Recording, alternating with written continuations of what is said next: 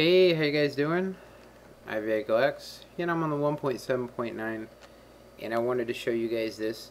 It looks like it's just a Potion Lab, the same one, but you'll notice some very subtle differences, and you'll also notice that this thing has auto refill, and it has a has overflow protection, and it will also give you your items back that you don't need. So um, this is the simplest way. I'm going to basically grab a little bit of everything and put it in here.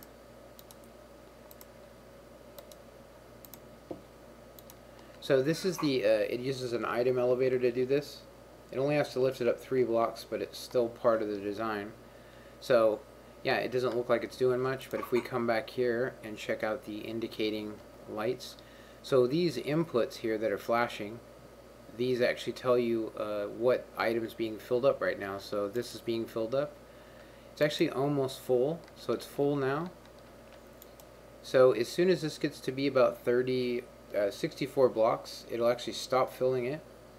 And then after that, anything that's left over is just going to go all the way to the other side and come into the other chests over there, which is pretty cool. I'm going to go ahead and just accelerate that process. So any other items that are you know coming through here. Now this is permanently on and as soon as it was done it moved the items out of the way and started loading the next set of uh, stuff. So magma cream you can see that it's loading in here. I only put in a couple so yeah. Anyway let's see what else is being filled. I think that's pretty much it. Oh here we go. Uh, gunpowder is being full or filled.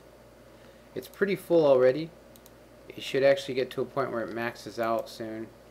It actually needs to fill up this entire thing before it maxes out. So it could use some more gunpowder. So now that it's pretty done, uh, this is still flashing, so it's actually still taking items. So, yeah. I'm just going to go ahead and assume that it's out of the chest area. But, yeah, it's pretty cool.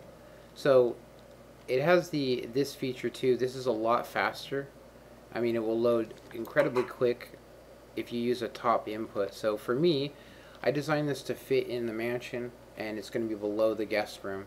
So if I come here and drop in every single item, and let's throw in some stuff that shouldn't be in there and see what happens.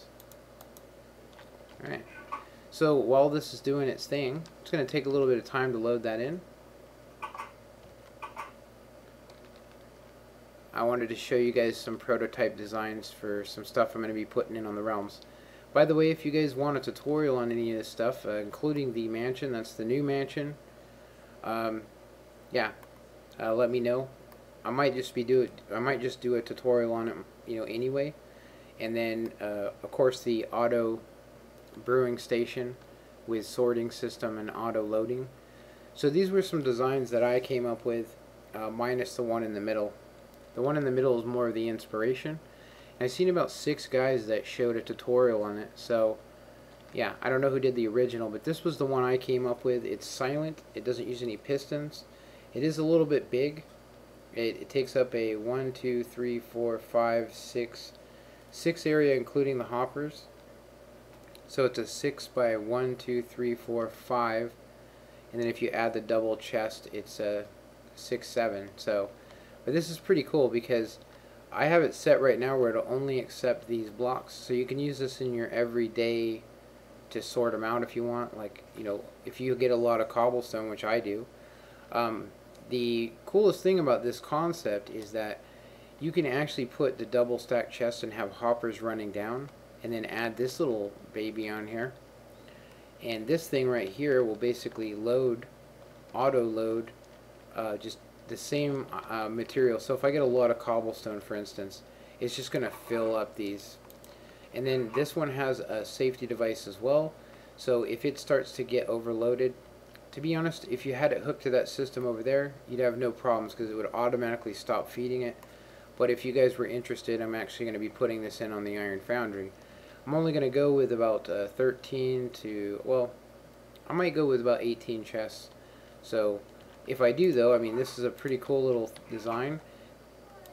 Sorry about that, I got a phone call. So yeah, you could easily adapt it and put it into a bunch of different systems. This is a if you use the self-sorting device and then put you know 20 chests of cobblestone if that's how much you're getting you know in a period you know you can store it there or if it's quartz or whatever and it'll automatically sort it so you can you know after a hard day's mining you can come home and just dump all your crap in it and just have it auto sorted obviously you'd have to put as many of these as you do have in the game if you wanted to use this particular system. Um, yeah.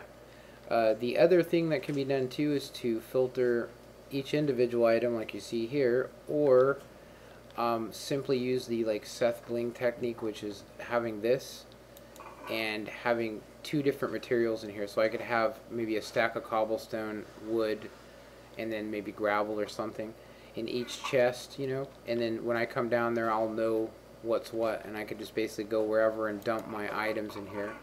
And then anything that doesn't uh, belong in there will either get destroyed if you want it to be destroyed or you can have it just go into a chest. So if there was anything that went into this particular system that didn't belong there uh, for instance this redstone it's just going to go through and just get kicked out and burned so yeah that really cool item sorting um, I seen Mumbo do it a while back you know doing some sorting systems but I didn't see him actually put in a sorting system per se just a storage system which you know the one I showed you just now was the cool one so this should be done processing all the material. So let's see what it gave me back.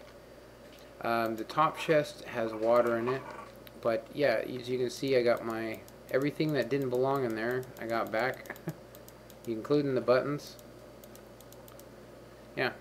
Uh, so it's full of nether wart. So if we go back there and check, you'll see that the nether wart doesn't need any more. The light for nether wart should be on, which should be here. So nether wart completely filled so everything that tried to go into it just ended up on the other side which is cool and of course you know I'm limited by space because I'm trying to fit this under the mansion but you would probably not be. So you can easily put double chests here. I'm actually going to probably put a double chest there just in case you know seriously and it would be as easy as this. That would be it. And this will now handle a good couple stacks of stuff. Which is really cool.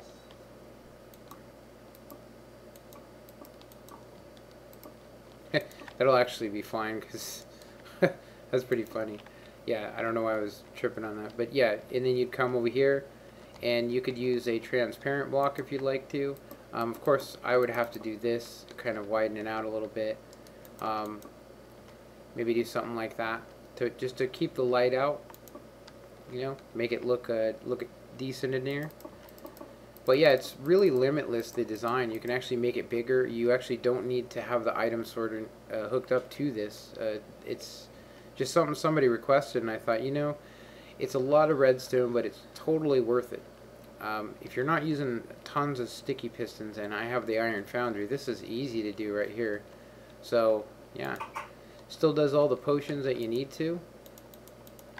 Let's actually make a, a potion of, potion I have in there? Poison. Let's actually make a potion of harming. There we go. So, first thing is nether wart, and then we got spider eye, and then fermented spider eye. So the nether wart's almost done. So uh, one of the bad things about this particular brewing station, um, I will say that you can kind of, you know, get around some of this stuff. Uh, for instance, if I wanted to, at this point, if I wanted to, to add anything else, if I had picked this potion and I wasn't like sitting there, I could have actually added in, you know, made it a splash and increased the uh, say potency of it. Um, you know, that will be added in right on top of them. So it, it really is dependent upon sequence, but anyway, really cool uh, design, very simple. So yeah, now that I've kind of been talking for a little bit, um, let's go ahead and jump onto my void world. And uh, all right, so this is uh, this is it. So if you were to take away everything that you were looking at, the doors and all that, this would be the exact space. Um, it is kind of big. Seriously, it's 21 by 6 by 6. that's not including the potion lab. The potion lab is a whole separate thing. If uh, you guys want a tutorial on you know the sorting system, you can put this onto anything. Um, seriously, uh, I put it onto this. It just required these uh, extra set of hoppers so that it will self-load, and it definitely needs the overflow protection. Um, so yeah, this is not the fastest way. Uh, seriously, the fastest way is to load it from here, which is something you guys might want to keep in mind. It's definitely a better way to go, I'm going to just say. Um, loading in these kind of materials, it goes in a lot quicker. So that's nether wart right there. And then once it's done loading the nether wart in, it should put the next thing I put in there, which is... It's actually... You know, I actually think when you're activating a trap chest, it actually freezes the thing underneath it. I probably shouldn't have used a trap chest. Should actually use this. that would sure trip somebody out. Put a trap chest on the loading system, and while it was open, it wouldn't load, but so they couldn't really check it. Pretty funny. I didn't even think about that, but yeah, you simply run this to where you want it to. Um, you could also use uh, this item elevator in increments of two after this. So once it's three tall, you can go two, and then two and two. So you could technically put your loading chests here. You, it's really, you know, as, as much material as you got, you can make this do some crazy stuff. I will say that I have experienced some wicked lag uh, while using this, but um, yeah. So it apparently nether wart is full. Now it is moved on to I think glistening melon. Yeah, glistening melon is being loaded in yeah, just to show you, it, it automatically does everything, and then anything that doesn't belong in here is going to end up in one of these chests. So I actually ran this through there uh, earlier, just to kind of uh, check it, to make sure that it, it won't accept any items except for the ones you want, um, which is uh, definitely something you need.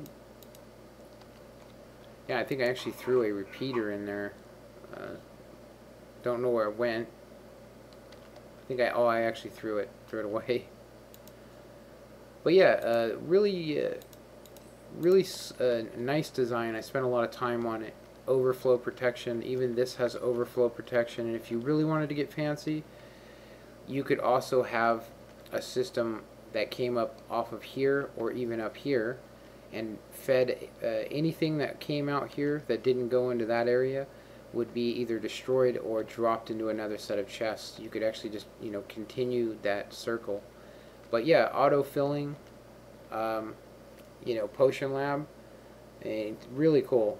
Um, yeah, the guy that requested it, I didn't really think about it until I was on the Realms going, I'm kind of sick of going back here and going into each one and loading it when I'd rather just use redstone and have it do it for me. And uh, yeah, so this is it. Anyway, I hope you guys enjoyed this. If you guys would like a tutorial on any of the stuff you've seen, you know, put it in the comments. Anyway, I hope you guys enjoyed watching this, and have a good one. Later.